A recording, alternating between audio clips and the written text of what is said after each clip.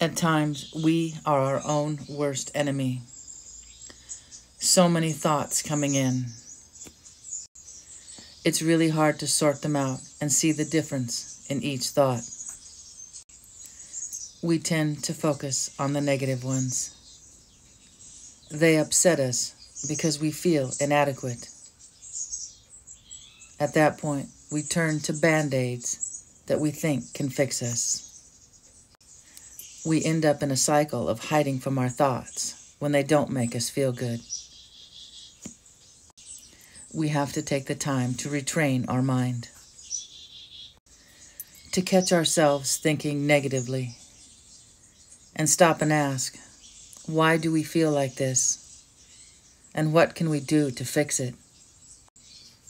Because facing it is hard.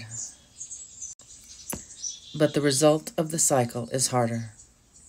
Once we can find an answer or an idea of why, we can address it and move on and start to look towards the positive.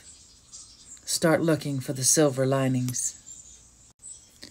After a while, focusing on the positive becomes a habit. It becomes ingrained in our personality. We change for the better a little bit every day, and that should be our goal a goal we know we can achieve. It just takes effort. It takes pushing back against what society expects of us.